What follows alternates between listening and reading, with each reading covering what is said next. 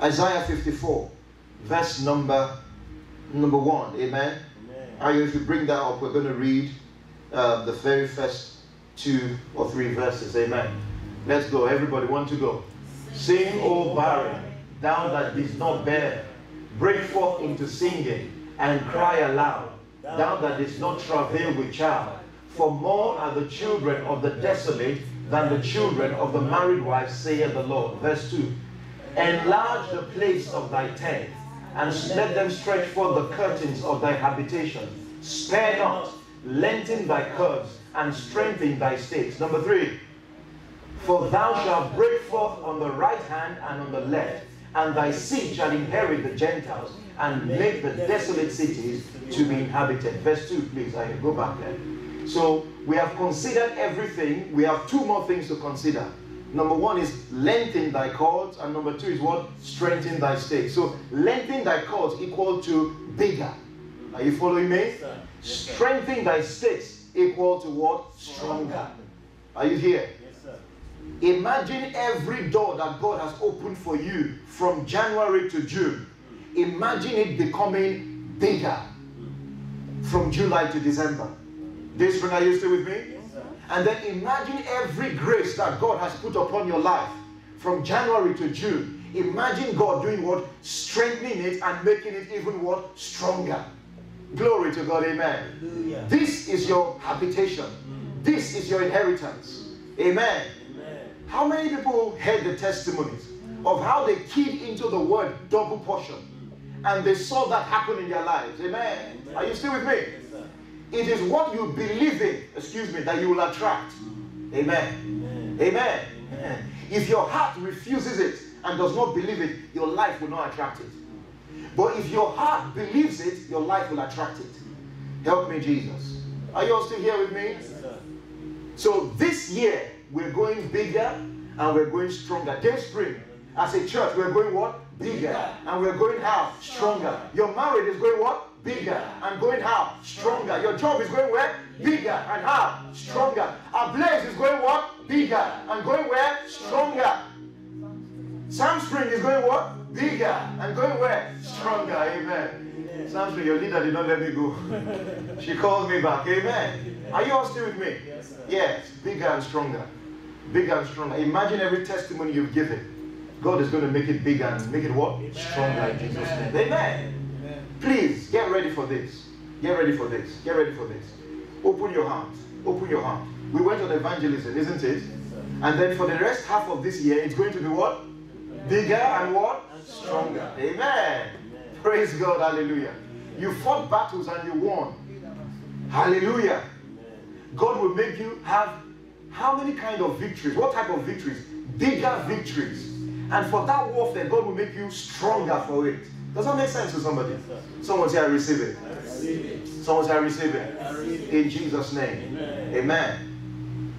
So we're going to concentrate on this today and we'll take Holy Communion based on this. Amen. Amen. And we're going to enter into a new season in our lives in Jesus' name. Amen. Enter into a new season. Imagining a door opening unto you and you stepping into it in Jesus' name. He that believeth, you will say it.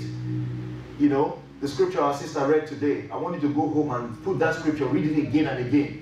Isaiah chapter 62. Amen. Amen. We're going to be visiting that scripture a lot for the rest half of this year. Amen. Amen. This is how we operate in the house.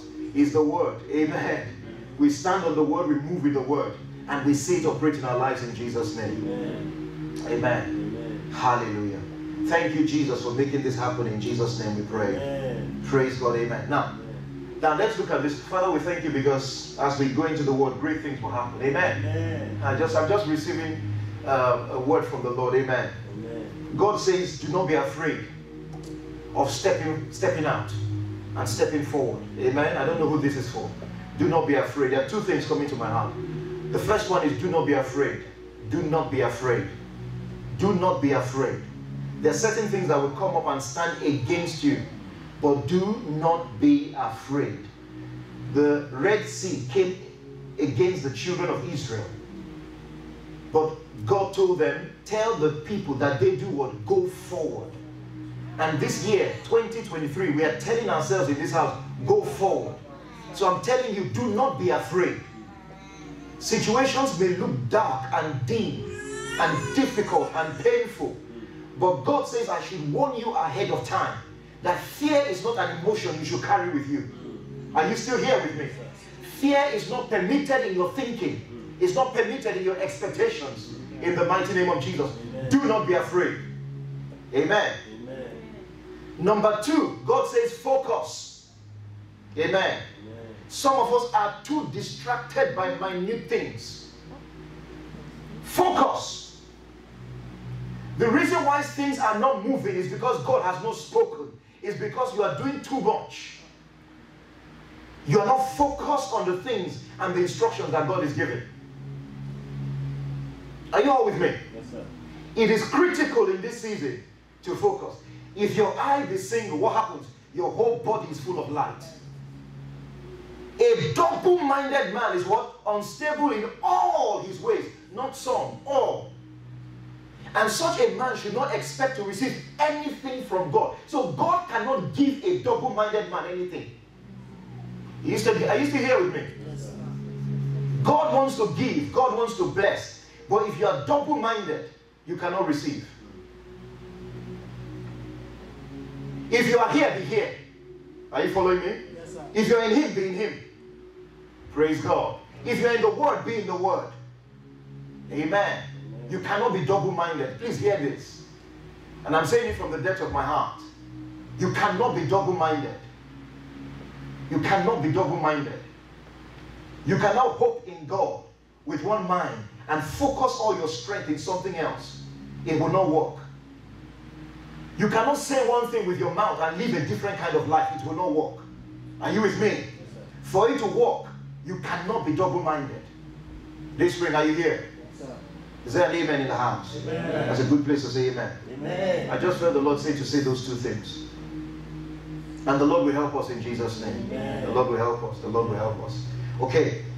It says, lengthen thy cords, and then do what? Strengthen thy stakes. So to lengthen your cord means to add more length to the cord that puts the tent together, isn't it? Yes. And to strengthen that thing means to make it bigger, to increase it, to enlarge it, to make it longer.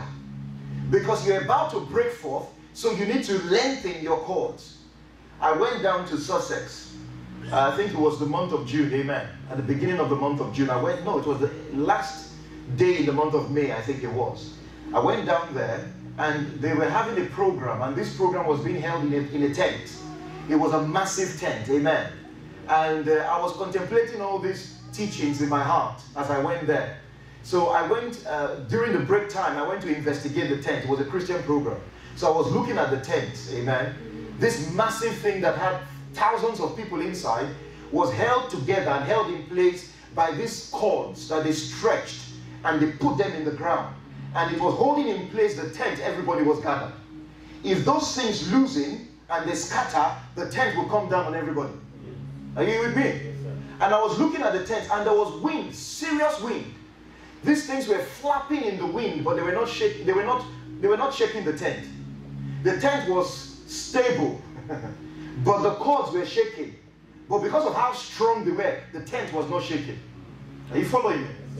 There are certain things that God will build in your life, and the only way He will make it happen is by lengthening the cords of your life. And I will explain what that means in a minute. To lengthen the cords is not just to look for more rope and tie, no, it's to make sure that where you are going, you have enough cords to hold you for where you are going. So the people who built that tent, they knew the length of the cords they needed before they actually build the tent. If we are building a small tent, we need a small cord. If we are building a big tent, we need a very long cord. Are you following me? So it is your dream of where you are going that determines the length of the cord you have. So also is the vision you have for your life for the next six months that will determine how this message impacts you. The cords of your life will come and be determined by the vision of what you have for your life for the next six months. This is just laying the foundation. Are you following me? Okay. Now, to lengthen the cord means to come to a place where you can bring growth and increase into your life. Growth and increase. So to go bigger, you need to grow bigger. Did you hear me? To go bigger, you need to do what? Grow bigger. Bigger does not come by impartation, bigger comes by growing. The activation of growing may come by impartation. The activation of different gifts that will cause you to grow may come by impartation. But to really be bigger in the realms of the spirit, you need to grow bigger to go bigger. Tell someone for me, you need to grow bigger to grow bigger. to go bigger. Grow bigger. Does that make sense to somebody? Yes. Sometimes we are waiting for some supernatural intervention to dictate to us how life will change. That is good. But there are some things that will happen naturally as you grow. Amen. And that will bring change into your life automatically. Isaiah chapter 10, please. Isaiah chapter 10.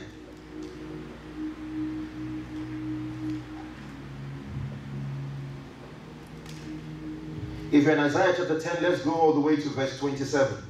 Isaiah chapter number 10, verse number 27. Son, do you have that up there? All right, let's read it together. And it shall come to pass in that day that his burden shall be taken away from your shoulder, and his yoke from off thy neck, and the yoke shall be destroyed because of what? Dayspring we need to we need to get excited because of the word of God. Let's read it again. One to go. And it shall come to pass in that day that his burden shall be taken away from thy shoulder, and his yoke from off thy neck, and the yoke shall be destroyed because of what? The anointing. Now I want to look at that word, the anointing. There are three dimensions of the word the anointing. The first dimension of that word the anointing is the supernatural intervention of power by the Holy Spirit. Are you there with me? Number one, supernatural intervention of power by the Holy Spirit. The anointing is the Holy Spirit coming on you, coming on me, and breaking things and destroying things. Are you following me? It comes on us and He takes away some burdens, takes away certain things. That's number one. And that's the one as a church we are used to. The church of the living God, all over the world, we are used to the anointing that comes and breaks yokes. Mm. And it just comes on us. The anointing comes, it flows in the house. The power of God is moving. Yokes are broken. You fall under the power. That is great. That is good. And I think that should always continue. Amen. It happens in this house and it will always happen in Jesus' name. Are you following me? It is anointed of God, apportioned by God, ordained by God, that the anointing of God will break yokes. It is always what God has desired. That's number one. That's the one dimension. The word for this word anointing also means to grow fat. Amen. F A T. To grow fat. To increase in size. That word anointing, there's a, the second meaning for that word. If you look at it in the Hebrew, it means to grow fat, to increase. Amen. So, it therefore means, if you read it in that context, it says that the yoke shall be destroyed because you have grown fat. Amen. Amen. It means that a time will come in your life that certain yokes will not go until you grow. Certain yokes will not be broken until you grow. It is in the increase and the fatness of your neck that the yoke is broken from your neck.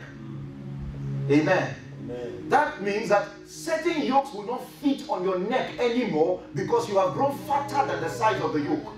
Idamashalia. Yes, sir. Yes. Iberia tana magaria desetea. Librozeke. What that simply means is this God has ordained a system in His kingdom that ensures that everybody who focuses on growth can get to a point in their lives that some things will not touch you anymore. Some sickness will not have permission to knock on your door Amen. because you have grown to a point where you address them from afar. And even if they touch your body, you can speak to them and they hear your voice. Amen. You've grown into it. Now, don't get me wrong, don't get me wrong, don't get me wrong. The devil can attack in different ways. And I've seen him in even people who you think he will never touch. He can go and attack anybody. Are you following me? But it takes the revelation that we have in God to enable us to deal with that attack that has come. Are you following me? And that's where the growth comes into place. Amen. There are some burdens that cannot be on your neck anymore. There are some things that cannot be on your shoulder anymore Because you have grown bigger than that yoke upon your life. A yoke is something that holds you down and puts you in a particular kind of service and lifestyle. If you see an ox, a cow that has a yoke on its neck, that cow does not have permission to do any other thing apart from what that yoke has been put on his neck to do. Are you getting this? That animal follows the direction and the pattern of the one who put the yoke on the neck. The speed of that animal depends on that person. The advancement of that animal depends on that person. The person can decide that that animal goes in circles all its life. Because of that yoke, it will continue to happen. Amen. amen. Praise God. Amen. And when you come to a point in your life where you understand that this yoke is not meant to be my, on my neck, are you still with me? This thing should not follow me everywhere I go. So you grow in knowledge and you acquire the knowledge that says, This should not be on my neck. Immediately that knowledge comes into you and it becomes a reality. You start to break it from off your neck. Glory to God, amen. amen. It's the same thing with finances, it's the same thing with every dimension and every area of your life. Dayspring, are you still with me? Are you getting this? As you grow, you break it. That's the second dimension. And the third dimension is the dimension of oil. Oil signifies the workings of the Holy Spirit in your life on a daily basis. Amen. Hot not the oil. It signifies the workings of the Holy Spirit. But it's the second one I'm interested in. Number two, you're growing so you can break the yoke from your neck. In this year, from July all the way to December, I want you to intentionally focus on growth in your spiritual life grow into certain knowledge, grow into certain, you know, understanding regarding situations and circumstances. That was why when in Proverbs the writer wrote, he says, In all your getting, get understanding. Because if you don't have understanding, you cannot break what is holding you down. And for you to gain understanding, you need to grow into understanding. Praise God, amen. You need to grow into it in all your getting. Get prayer, yes. Get signs and wonders, yes. get all those beautiful things. But in all this getting, do what? Get understanding. Because understanding will help you keep your miracle, not just gain your miracle. Amen. Praise God, amen. Are you all still with me? Yes. If we are going to go bigger, we need to do what? Grow bigger. Growth takes time. Growth takes effort. Growth takes work. Growth takes intention. Growth takes focus. Is everybody still with me? Yes. Let this sink into your spirit, people of God. To go bigger, we do what?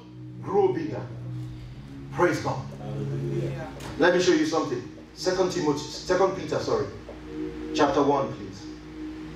Second Peter. Second Peter is in the Old Testament, isn't it? No, good people of God. Yeah, I just wanted to make sure you're listening. Second Peter chapter 1, New Testament, amen. Amen.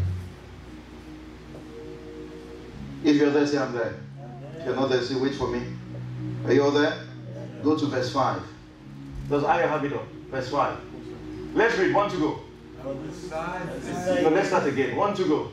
and besides this, giving all diligence, add to your faith virtue, and to virtue knowledge. Wait, hold on there. Can you go to verse 4, please?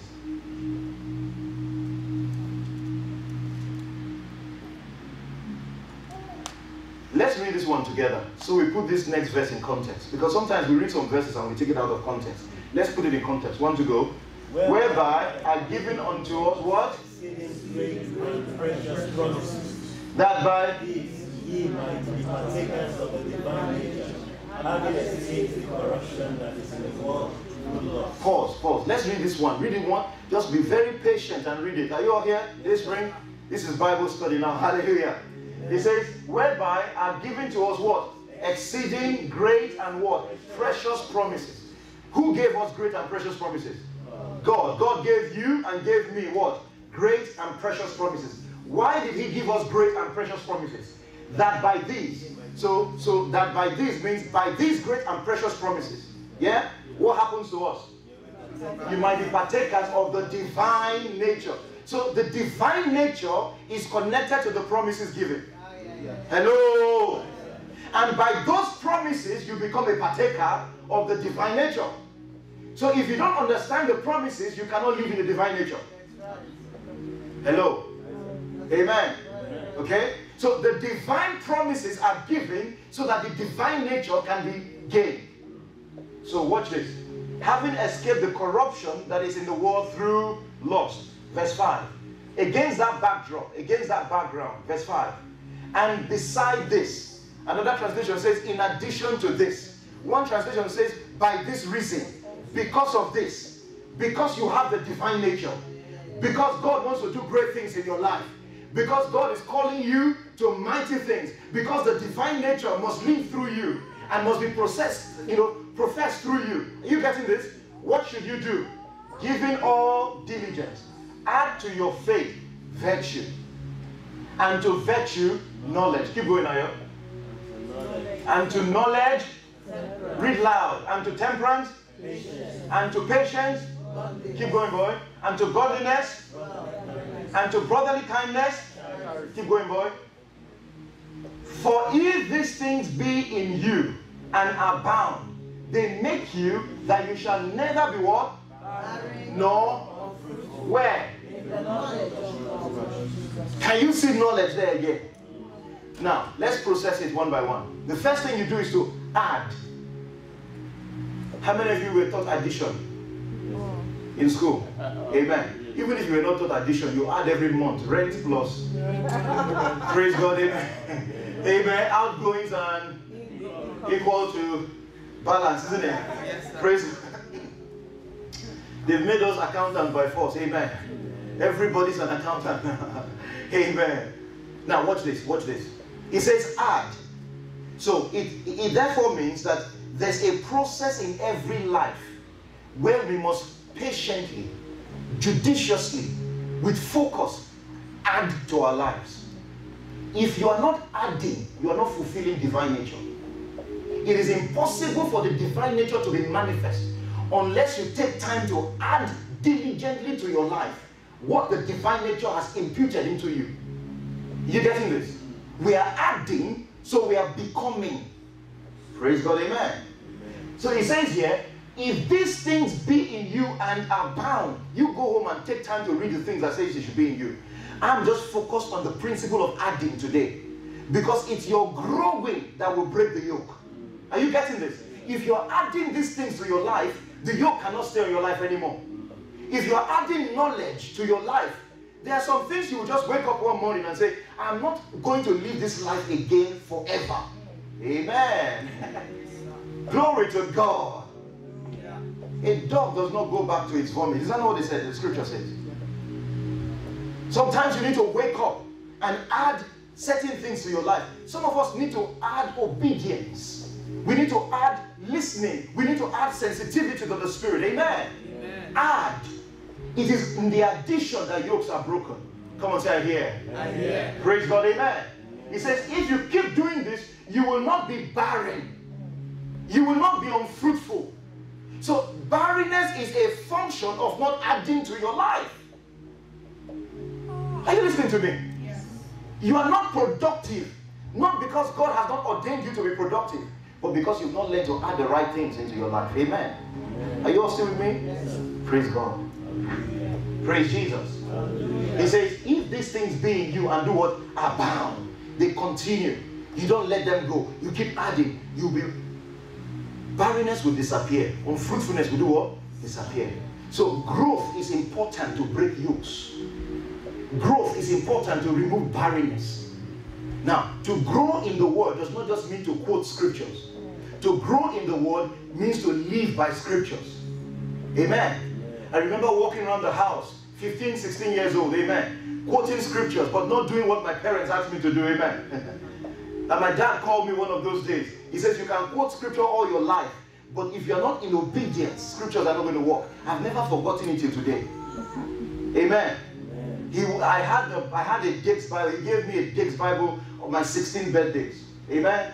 So I was quoting this thing everywhere. I can, I will, Amen. if you talk of sword drill and you know go to this scripture and all of those, if you remember these things those days, I was always first, always scripture union, no but area, zone, region.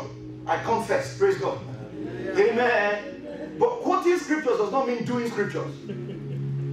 Amen. Praise God. Yeah, I'm just reading it, I'm absorbing it, I'm excited, I'm marking it. If you see my days, colorful, different purple, yellow, everything. Beautiful, lovely Bible. Amen.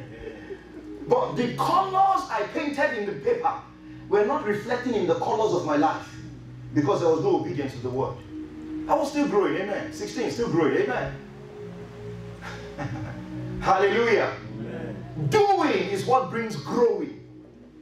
What did I say? Doing. Is what brings what? Growing. growing. Doing brings growing. Amen. The more you're obedient, the more God can walk with you. The more you're obedient, the more God can use you. The more you're obedient, the more God can pour into you. Praise God, amen. I remember one night, my wife was pregnant with Ayo. And she went to London to stay with her parents for a few, a few days, few weeks. And I remember waking up in the night, about 8 p.m., 9 p.m. And the Lord said to me, get up, take your car, go and fill the tank. We're driving a Peugeot 406 then, amen? White. Glory to God. Some of you don't even know a Peugeot 406. How many of you don't know a Peugeot 406? I do. Yeah. I you just don't, don't, don't you didn't like it. I had a Peugeot 406 then. I remember buying it from a man who used to work in boots. You remember that? Went to Preston, bought that car 1,000 pounds. Amen. The Lord said to me, Get up, fill your tank.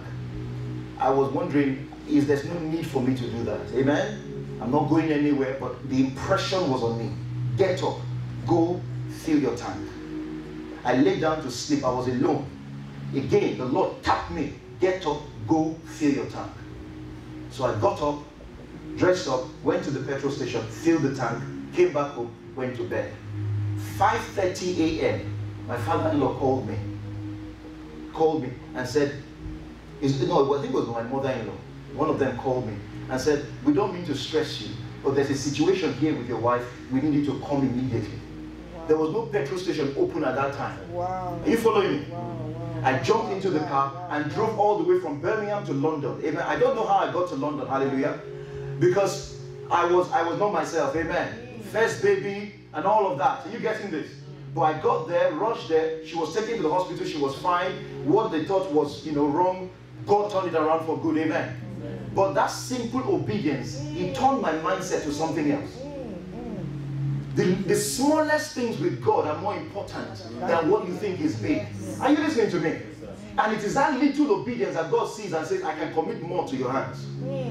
Now, you grow in obedience by obeying. do you hear me? Yes. The more you do something, the more you grow in that thing. Does somebody understand that? Did you hear me? The more you do something, the more you grow. Israel, the more he plays this keyboard, the more he learns it, isn't it? People of God, hear me. Anointing is not just power to break you over your life. Anointing is growing fat. Mm. It's growing fat. Increasing in your knowledge that does not permit yokes to rest on your neck. Mm. Someone say, I hear you. Dayspring, are you still with me? Hallelujah. So this year, for the rest of this year, commit yourself to growing. Look at that area of your life where you need to grow. If there's a gap, there's something we call in business gap analysis. Amen? Gap analysis means to define for yourself the distance between where you are and where you want to get to. There's a gap. Between here and there, what do I need to do to get there? And then you design, you design interventions to make sure that that gap is closed. Praise God. Hallelujah.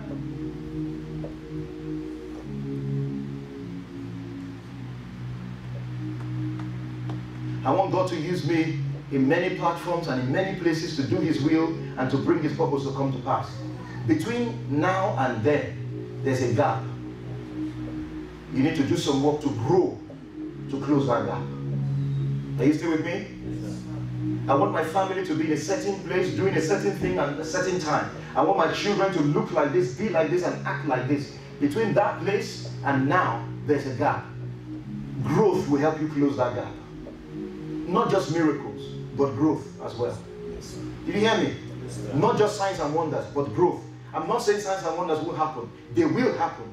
But as you are growing, you start seeing more signs and more wonders as you are growing with God. Amen. Amen. Hallelujah. Amen. When Moses parted the Red Sea, all he had to do was stretch his hand. Do you remember this? When the time came for Jordan to part, there was no stretching of hand. The Bible says the priests they carried the ark of the covenant and they stepped into the water. If you are still waiting for the old pattern, you have not grown. Amen. Amen. Growth means to listen to God every single time to hear what He has to say and do it accordingly. Are you still here this spring? So, this is the principle. Add. Add to your life every day. Ensure you are growing every day. Let the word be in you every day. This book of the law shall not depart from your mouth. You shall meditate on it day and night, so that thou mayest observe to do according to all that is written therein. And thou shalt make thy way prosperous, and you will have what? Good success. Joshua chapter 1 verse 8 good success, prosperity. It does not come by claiming, it comes by growing. Praise God, amen. amen. You can claim it for years until you grow it, you cannot enjoy it. Praise God. I lived with my grandmother for some years in my life, amen. And Mama grew every almost everything we ate in the house. Amen. At the back of the house. You cannot tell her that the market has shut down and then she cannot cook for her family. Amen. You say, Mama, the market is closed. You say, Oh, don't no problem. Go to the back. Praise God, amen. There's okra. That was where I knew how to pluck okra. Amen. And she taught me, she said, no matter how tall the okra grows, the owner will still be able to bend it and pluck it. She was talking about me, amen. I was the okra, amen. In that analogy, praise God. And she was the owner of the okra, amen. praise God. Everything she needed, she had in her back. See, if you're a visitor, you come from far, and she wants chicken, she doesn't wait, she doesn't need to waste her time. All she does is go to the back. All of them start running. They all the chicken from the whole world. Praise God, amen. Running, flying. You see chicken flying above each other. To be killed. To the slaughter. And, and my grandmother would just stand there. She would say, Name, that's my other name, amen. That's the one I want. Amen. And then we'll lay trap for that one. We'll keep giving it corn. And it will follow you. And we lure it into the room. And then we shut the door. The end of the story is you cracking bones. Praise God. Thank God for the life of that chicken.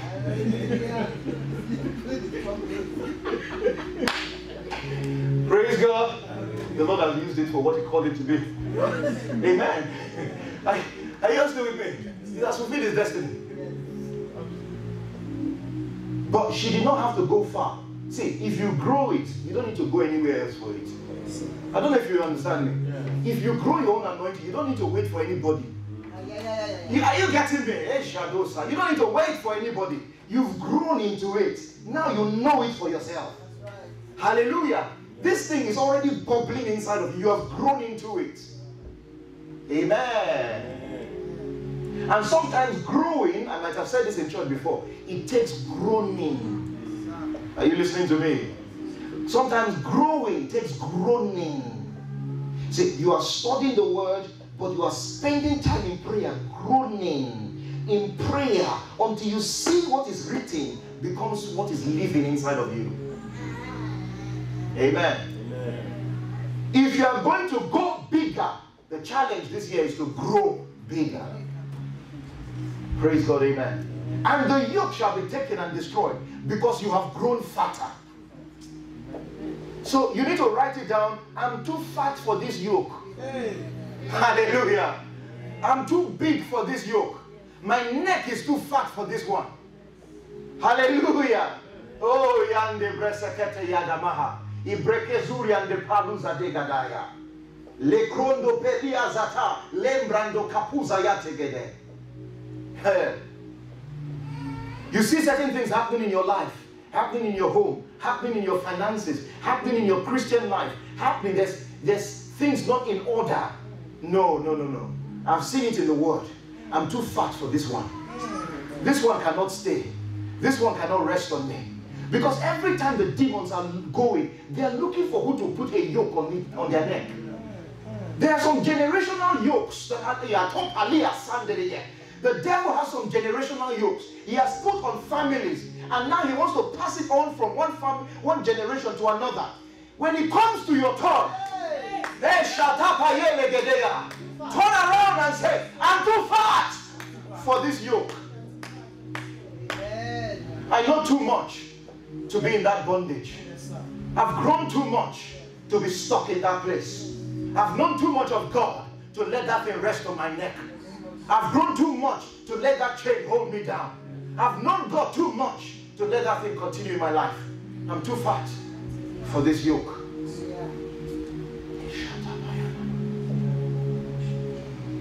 And you know, the devil likes to walk in cycles. The Bible says in Luke chapter 4, at the end, when Jesus had overcome the devil and he has won the victory, the Bible says he left him for what? A little while. Another translation says he left him for a season. A little while. A season. All right, you think you've won the victory now? I'll leave you for a little while. Give your testimony. Go and give your testimony in church. Don't worry, go, go, go, go. Give your testimony. I'll come back later. So you go and give the testimony. You thank God. He's there a little while. Sometimes in that little while we get too comfortable. We stop growing. We stop groaning. We think now we've reached that level where nothing can touch us and where nothing can happen. We stop groaning and we stop growing. They say pray. You're not praying too much anymore. Because the last time you prayed heavily was to get that job that was going to give you something great. Now you have it. You think you don't need to pray anymore. You think you don't need to fast anymore. You think it's okay. I've arrived. I'm where I am. and now the devil is waiting for a little while. Then he comes again in the garden of Gethsemane. Are you listening to me? He comes with force and with strength and with power in the garden of Gethsemane. But he meets a Jesus that has been growing. He meets a Jesus that a great while before day will go out and will pray. Uh, the Bible says a great while before day. Day starts at 6 a.m. A great while before day for me will be like 4 a.m., 3 a.m. Jesus will go out and he will find a place in the mountain and just talk to his father. And the father will give him the agenda for the day and said, Today you will meet this person, that person, that person. Pray and you will overcome. Are you listening to me, people of God? He met a Jesus that has known his father, a Jesus that will not do anything unless his father tells him to do it. So when he came into the Garden of Gethsemane, he did not meet Jesus praying, I'm giving up, and everything is good. He said, Nevertheless, I may feel this way, but because I've grown too much, I cannot lose my portion and lose my purpose because of this pressure on my neck. If the shift comes to shove, nevertheless, not my will, your will be done. That's the greatest level of submission. Are you still with me? He left him for a while. You need to know that the devil lives for a while. Just a while. He's coming back looking for another way, a stronger way. Jesus told us, Mommy, that when a demon is cast out of somebody, they go to the arid places, the dry lands, looking for a place. Now, if they don't find anywhere to settle there, what do they do? They come back intelligent. See, these are not, they are not, you know, just, you know, it's not the way they show them on film, films. It's, it's not jockey and all those nonsense. Are you getting me? These are intelligent beings. They come back to where they were and if they see the house clean and prepared, they go and bring more and take over. And you listen, so that the end state is worse than the first state. So the desire of the enemy is to make you worse than you've ever been before. Are you getting this?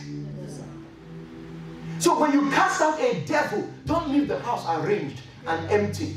When you cast out a devil, occupy it with the word. Grow something inside of it. Hey, are you listening to me? Yes, that demon of poverty is out. Yes, but grow the word of increase and prosperity inside of you.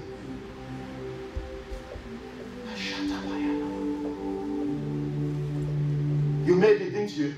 You traveled. Good. You left that, that place. Now you've come to this place. Well done. 100% well done. I will leave you for a while. And I'll come back again. So he's waiting. You get the first job, he's waiting. Are you listening to me? Yeah.